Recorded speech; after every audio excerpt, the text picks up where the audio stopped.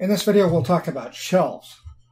Maya comes with, uh, so this is our, our, shelf here, and these are tabs for different shelves. Maya ships with some default shelves. I usually prefer to make my own. Uh, I have a rigging shelf that's kind of a go-to that I use here.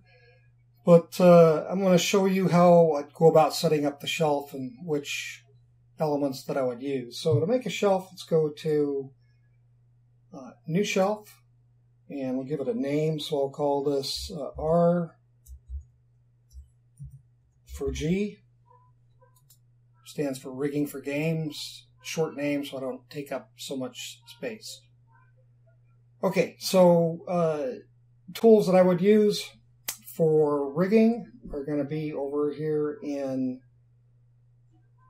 um, we're going to go to select hierarchy and we're going to hit control shift left click and that adds this to the shelf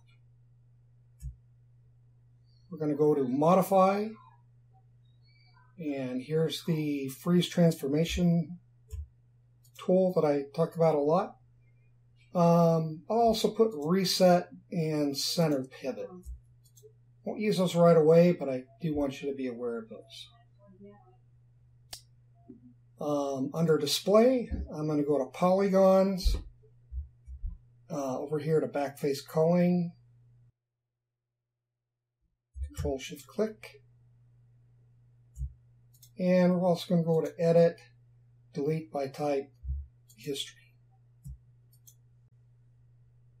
Okay, so uh, a middle mouse drag and put those over there. And these are tools that I'm going to access quite a bit. Um, so I'm in the rigging menu here. Default, I think, is going to be modeling. So I'm in rigging.